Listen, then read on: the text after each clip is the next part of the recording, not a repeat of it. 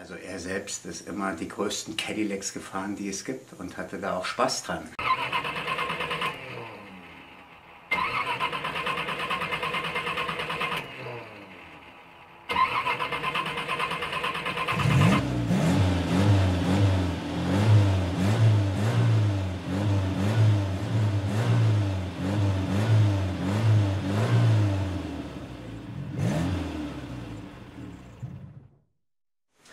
Also damals, als es realisiert wurde, war es ein Riesentheater.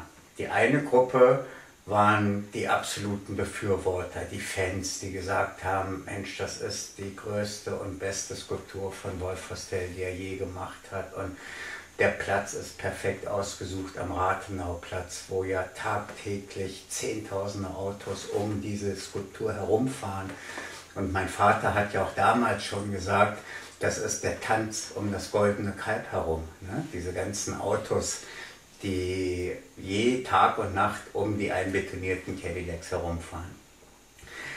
Also es gab wahnsinnig viele Fürsprachen und Befürworter und äh, richtige Fangemeinschaften zu dieser Skulptur. Und dann gab es auch eine Gruppe, die waren genau das Gegenteil. Die haben es nicht verstanden, die haben es gehasst, die waren, die haben sich total provoziert gefühlt und die haben das irgendwie persönlich genommen.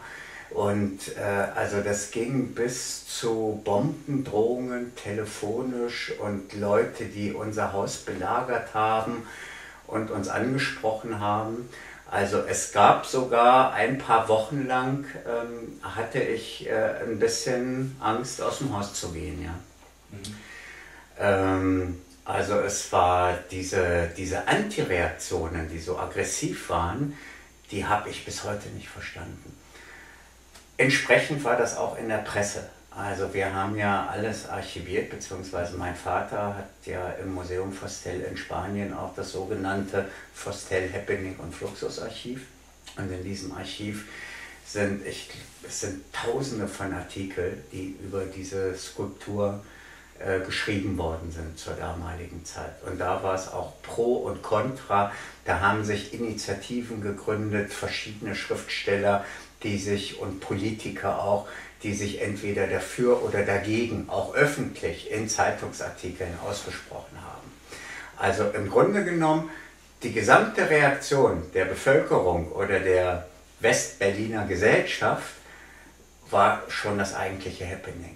Also ich denke, mein Vater hatte auch Spaß dran. Mhm.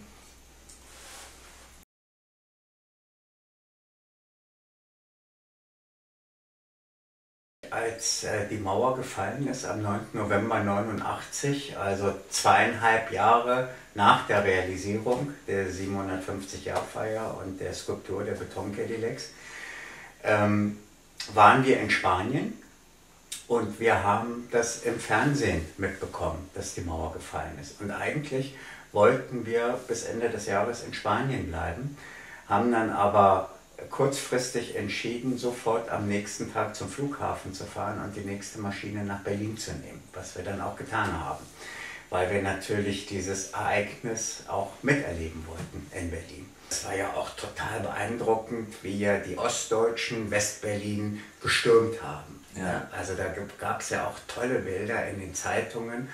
Ich erinnere mich an, an eine Fotografie, Straße des 17. Juni zwischen Brandenburger Tor und Siegessäule.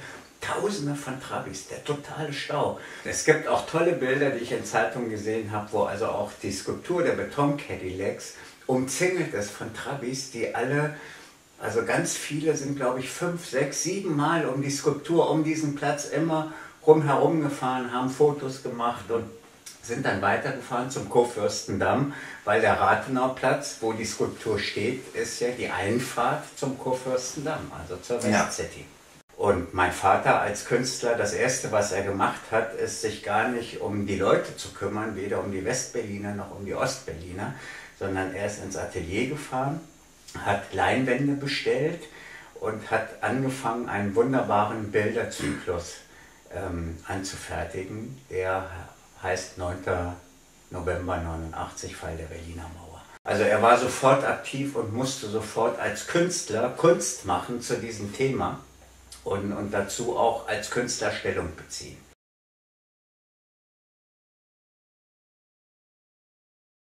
Die aggressiven, lauten Stimmen von damals sind mittlerweile verstummt.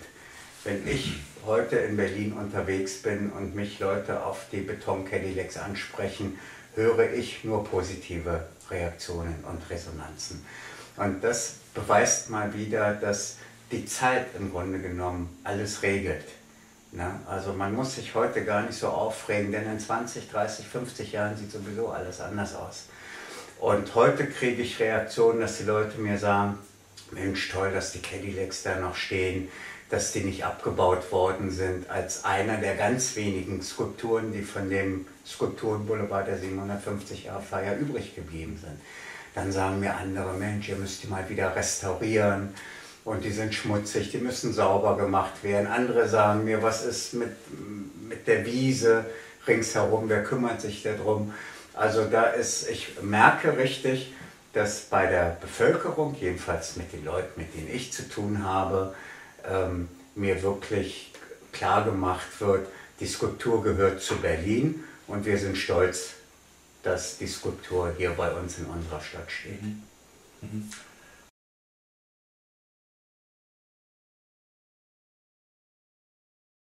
Nachdem mein Vater verstorben war und ähm, die rechtliche Lage zwischen den Eigentümern der Skulptur, die meine Familie ist, und dem Land Berlin, die sozusagen den öffentlichen Platz zur Verfügung stellen, nachdem diese rechtliche Situation unklar war, haben wir äh, mit unserem Rechtsanwalt gemeinsam mit dem Land Berlin einen Vertrag geschlossen, der diese ganzen Fragen regelt.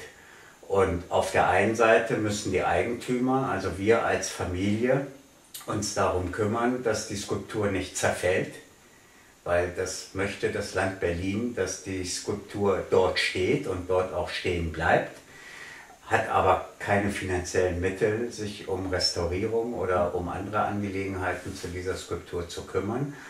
Muss sie auch nicht, weil ja das Land Berlin nicht der Eigentümer ist, sondern wir als Familie. Also wir als Familie kümmern uns um die Skulptur. Mhm. Wenn sie restauriert werden muss, restaurieren wir sie, aber nur so weit, wie es auch kein künstlerischen Eingriff ist. Also es sind nur technische Restaurierungen, die dort vollzogen werden müssen, regelmäßig.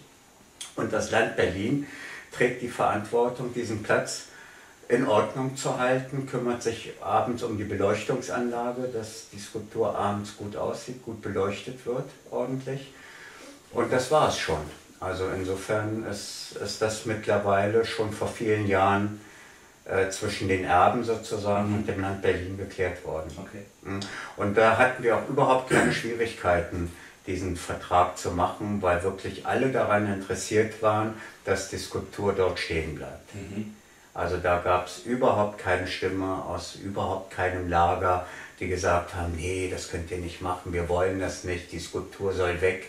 Also nichts dergleichen mhm. habe ich gehört. Es war genau das Gegenteil. Auch das Land Berlin ist auf uns zugekommen und hat gesagt, wir müssen mal die Sache hier rechtlich absichern für uns beide.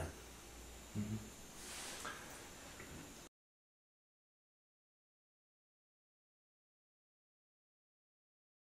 Es gibt einmal die Sicht des Künstlers, die im Grunde genommen die wichtigste Sichtweise ist, weil er als Künstler dieses Kunstwerk geschaffen hat.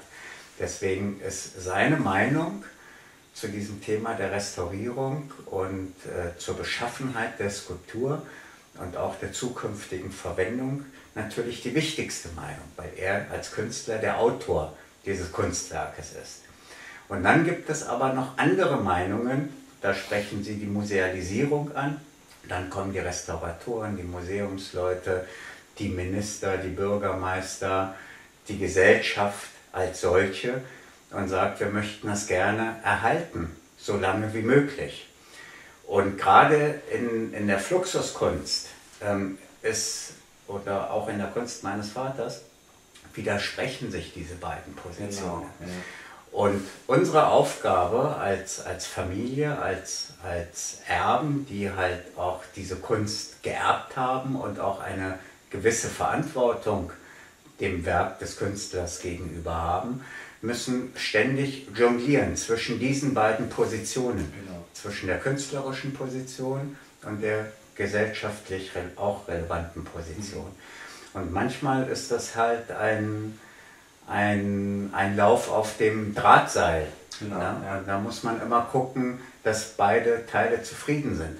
Wenn es nach meinem Vater ginge, und es sind schon etliche Skulpturen nach diesem Konzept weltweit entstanden, stellt, baut er eine Skulptur. In diesem Fall sind es zwei amerikanische Cadillacs, die teilweise einbetoniert sind in der Form der nackten Macher. Und die stehen da und am besten, man fässt sie gar nicht mehr an. Und wenn sie verfallen und zerfallen, zerfallen sie halt. Genau. Weil ja. das, das ist der Prozess auch genau. de, des Dekollagierens. Und das ist auch der Lebensprozess. Auch wir sehen nicht immer so aus, wie wir heute aussehen. Auch wir sehen in 20, genau. 30, 40 Jahren anders aus. Und auch wir zerfallen und genau. sterben irgendwann mal. Also warum soll es die Kunst nicht auch tun? Ja? Nur also das müssen wir natürlich berücksichtigen. Aber genau. auf der anderen Seite ist die Gesellschaft da, die Politiker, die Kuratoren, die Museumsleute, letztendlich auch der Betrieb des ganzen Kunsthandels, die sagen, hallo, das ist einer der wichtigsten Skulpturen von Wolf Hostel, einer der wichtigsten deutschen Künstler der zweiten Hälfte des 20. Jahrhunderts. Wir dürfen diese Skulptur nicht zerfallen lassen, wir müssen sie konservieren. Und so versuchen wir beide Seiten zu bedienen.